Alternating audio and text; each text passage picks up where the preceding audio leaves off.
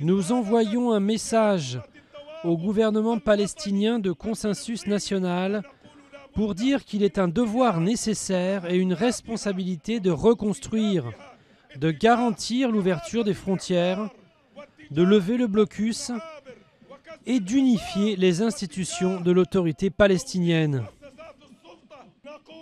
Nous voulons la reconstruction et la levée du blocus. La reconstruction et la levée du blocus. Voici le début d'un mouvement national et ce mouvement national durera jusqu'à ce qu'on obtienne satisfaction de nos demandes.